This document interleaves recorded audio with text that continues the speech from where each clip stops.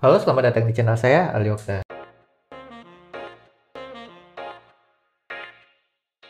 Dan di video kali ini kita uh, mau unboxing ya sebuah gadget yang susah banget nyarinya.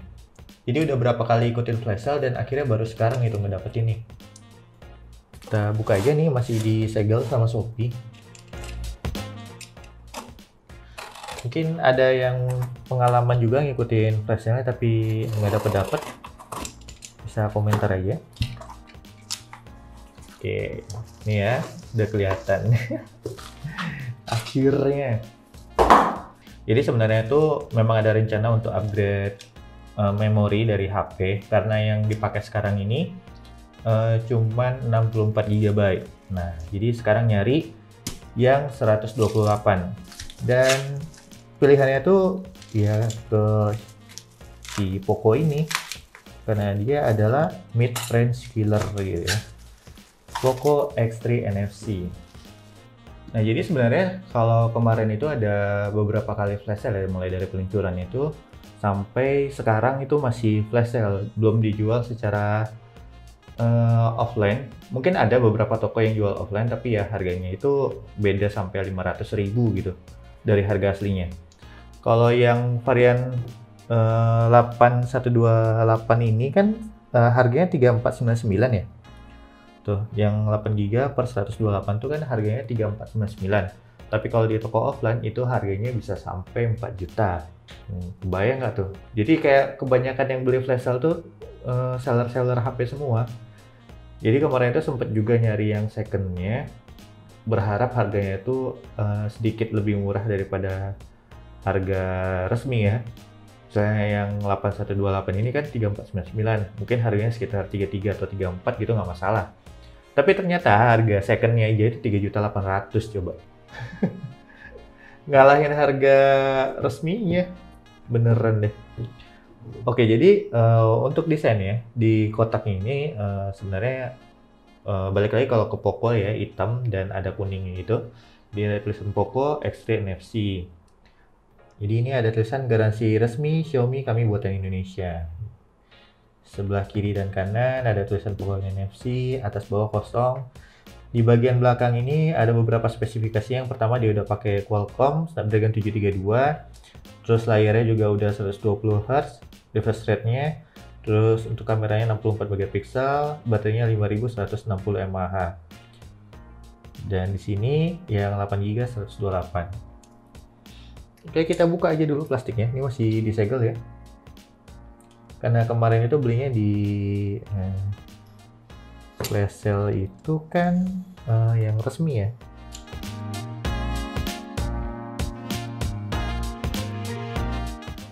Ini plastiknya sengaja nih. Ya, dibongkar habis. Mana tahu nanti nggak pakai kan, mau dijual lagi.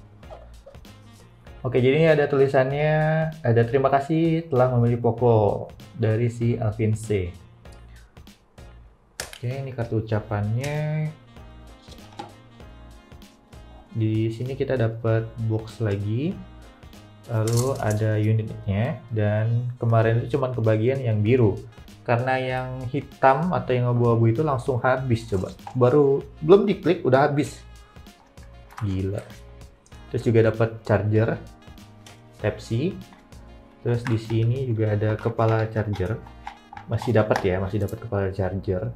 Ini sama kayak Redmi Note 9 chargernya yang turbo 33 watt kalau nggak salah. Dan itu aja. Nggak ada lagi. Mungkin kalau di sini unboxing udah biasa gitu ya, tapi yang nggak biasa itu perjuangannya gitu. Sempat kemarin nyari ke Mi Store dan sama dia harus pre-order dulu. Jadi kita kalau mau beli dicatat namanya di list, nanti sesuai antrian kalau barangnya datang dipanggil gitu. Tapi ya harus bayar dulu. Nah, di sini ada SIM tray ejector. Terus di sini ada buku petunjuk, kitab-kitab dan segala macamnya. Lalu di sini juga dapat case yang bening ya. Sebenarnya kemarin itu juga udah beli sih beberapa case. Ini. Yang pakai sesuai kameranya ya bolongannya nanti kita coba. Dan ini yang polos biasa tapi belakangnya mica. Bukan yang uh, silikon kayak gini tapi yang mica. Nanti kita cobain aja. Kita singkirin dulu. Dan kita coba rapin aja dulu lagi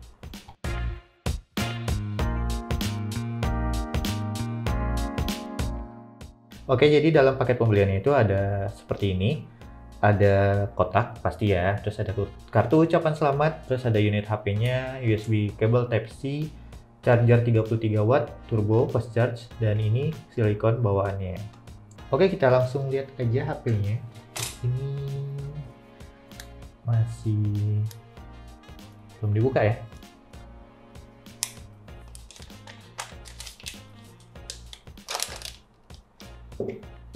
Oke.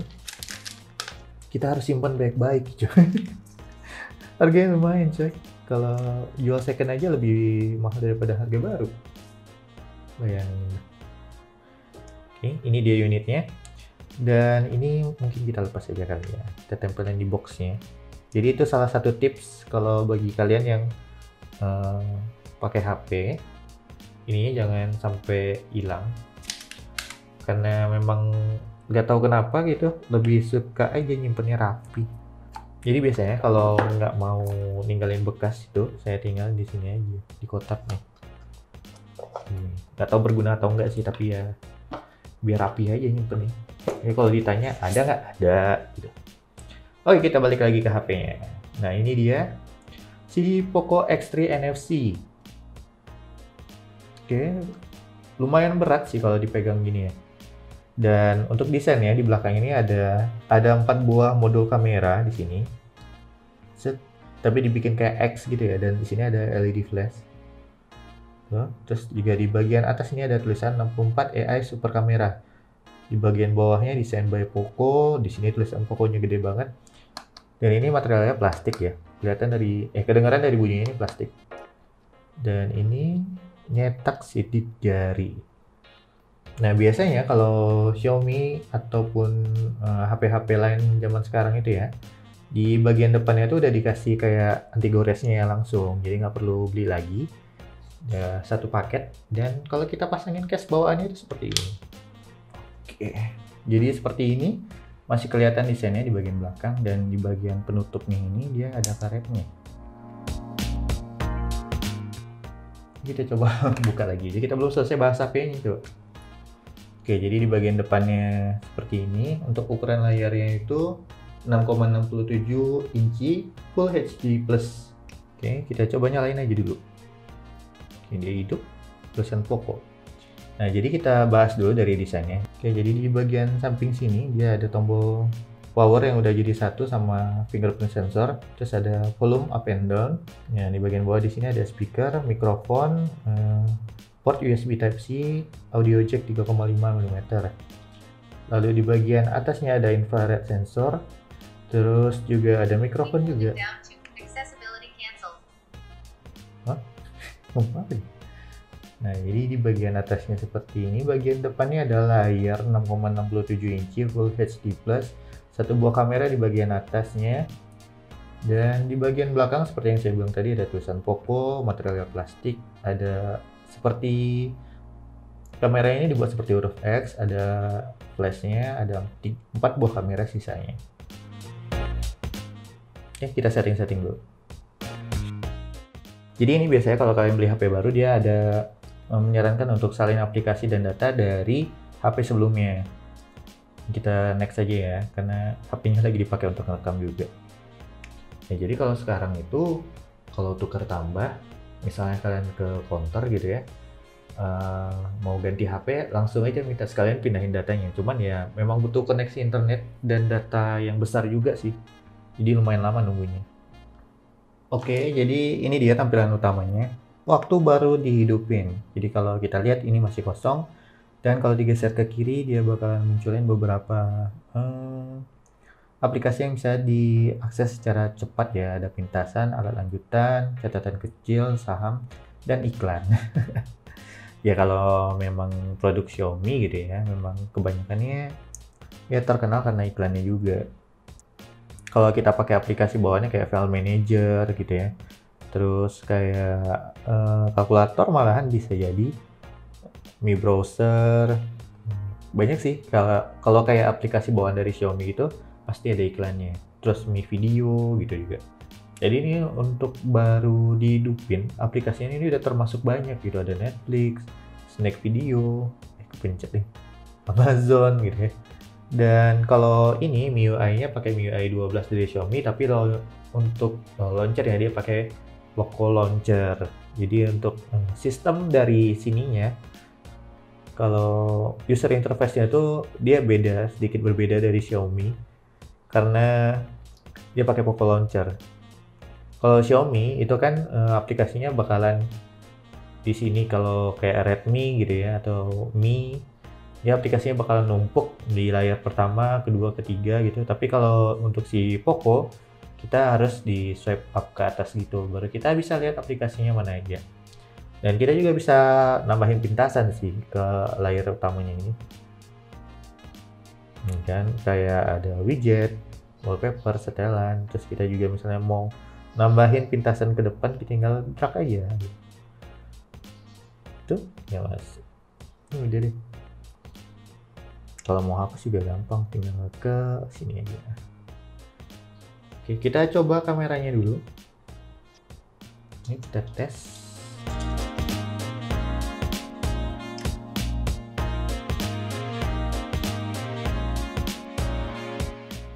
dulu itu sempat pakai Pocophone F1 ya yang F1 yang pertama itu dan memang kalau untuk kameranya dia agak ada ciri khasnya terutama di bagian saturasinya. Jadi warnanya itu kayak agak terang gitu, kinclong. Bagus sih sebenarnya. Dan ini uh, termasuk yang saya suka, tapi kalau untuk diedit lagi agak susah karena warnanya itu udah terlalu gonjreng gitu, terlalu terang. Jadi agak susah lagi untuk diedit. Tapi tinggal ya pandai-pandai kita juga sih untuk settingan kameranya. Oke, jadi untuk impresi pertamanya seperti itu dan untuk unboxingnya juga sekalian ya. Dan kita mau coba dulu case-nya ini bagusan yang mana. Ini harganya murah-murah sih. Yang ini kalau nggak salah 15.000, yang ini juga 15.000, yang ini gratis. ini penasaran aja pas untuk di sininya apakah pas atau enggak. Soalnya ini kan agak menonjol kalau dari samping tuh. Kelihatan nggak? agak menonjol kameranya tuh sama yang ini juga sebenarnya nih uh, casingnya agak ngetupin gitu ya tapi nggak ketutup semua takutnya dan ini juga tuh karena ini kan beli karena ada bantalannya juga di ujung-ujung biasanya kalau beli casing atau case gitu ya saya suka beli yang ada bantalannya gitu di sudut-sudut soalnya kalau jatuh nggak langsung uh, kena ke si HP-nya Oke, kita coba dulu dari yang bawaannya tadi ya. Tadi udah dicoba belum?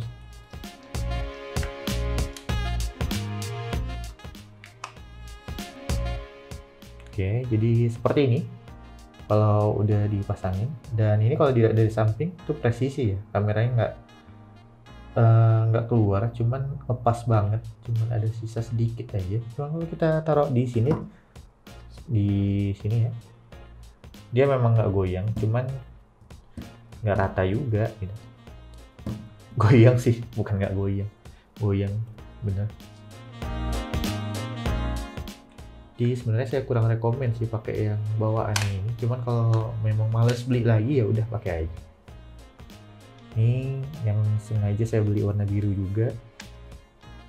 Hmm, keren sih ini. Bagus kelihatannya. Dan untuk di kamera juga presisi ya. Nggak ngalangin. Dan kamera juga kayak terlindungi gitu. Tambah lagi di sini juga ada shockproofnya warnanya juga sengaja saya pilih warna biru karena ngikutin warna bawaan si Poco. Bagus sih cuman ini uh, takutnya lama-lama jadi butek ya warnanya hmm, oke okay. next one. Kita coba yang ini.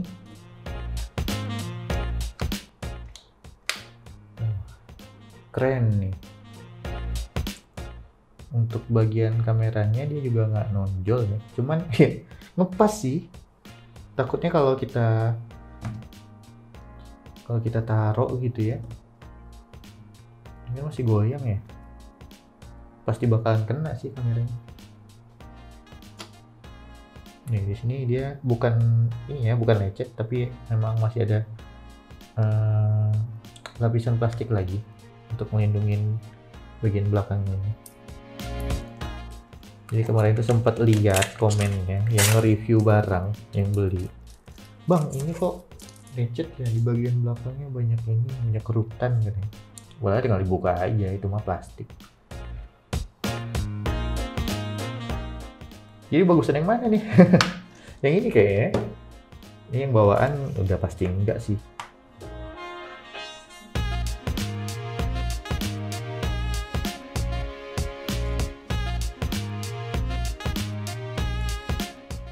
Kalau saya sih sebenarnya demenan yang hitam gini, cuman kayaknya lebih terlindungin, lebih bagus fungsinya tuh yang ini gitu.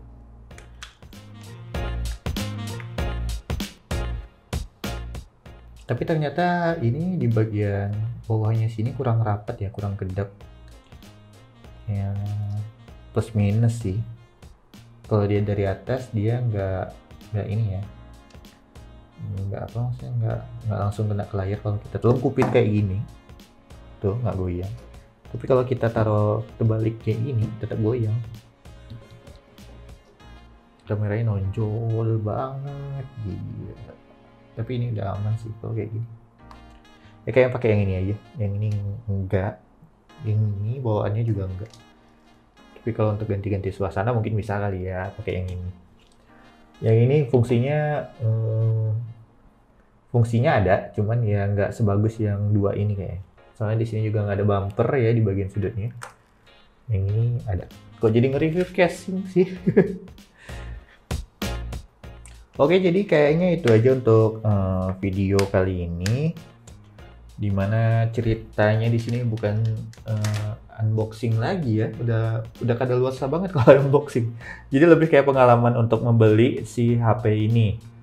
Pokoknya ini HP launching di mulai dari tahun lalu, tapi baru kedapatannya sekarang.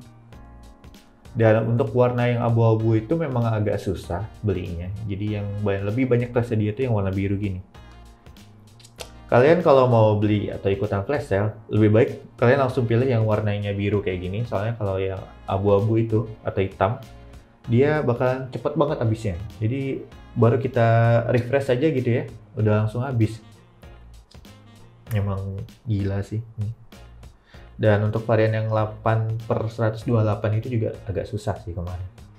Yang kebanyakan tuh waktu ikutan flash sale yang 6 per 6 nya masih ada karena ya stok untuk di toko offline itu belum banyak.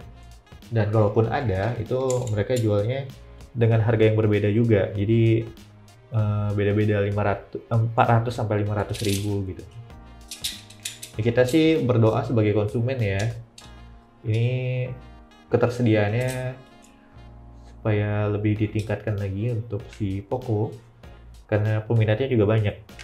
Nah pas video ini dibikin tanggal 20 eh tanggal 19 tanggal 21 nanti si Poco ini bakalan ngeluncurin yang M3 di mana itu adalah low end killer uh, pembunuh untuk di uh, kelas low end smartphone gitu ya yang M3 desainnya juga lebih bagus dari ini menurut saya. Nanti kita lihat aja bakalan susah atau enggak untuk dapetin apakah bakalan gue lagi kayak si kakaknya ini X3 NFC atau enggak. Oke, kayaknya itu aja untuk video kali ini. Semoga bisa bermanfaat bagi teman-teman semua. Saya Aldi Oktapriat namun pamit. Sampai jumpa di video selanjutnya. Ciao!